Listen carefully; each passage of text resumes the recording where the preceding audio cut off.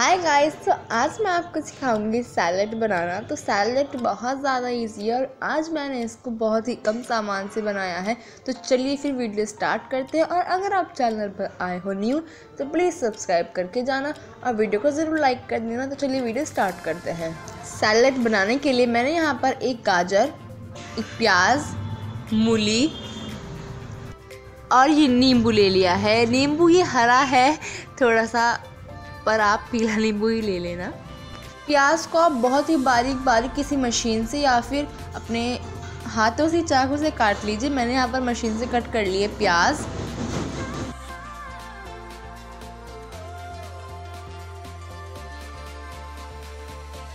अब हम गाजर को भी कट कर लेंगे कुछ इस तरीके से, जैसा कि आपको वीडियो में दिख रहा है। ना ही ज़्यादा पतला, ना ही ज़्यादा मोटा और कुछ इनका साइज़ ऐसा हो।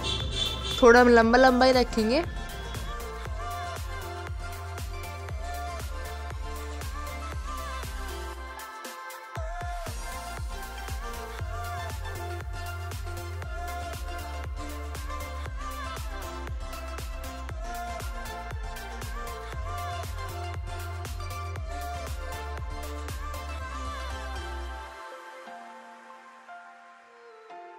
हमारी गाजर कट के रेडी है। ऐसे ही हम मूली को भी कट कर लेंगे।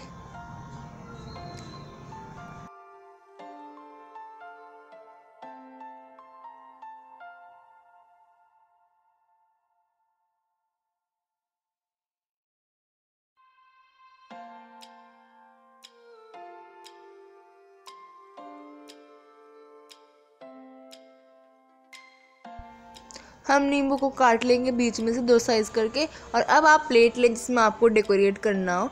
तो हम आधी साइड पे मूली लगाएँगे, आधी साइड पर गाजर लगा देंगे कुछ इस तरीके से जैसा कि आपको वीडियो में दिख ही रहा है। अब हम प्याज लगा देंगे बीच में।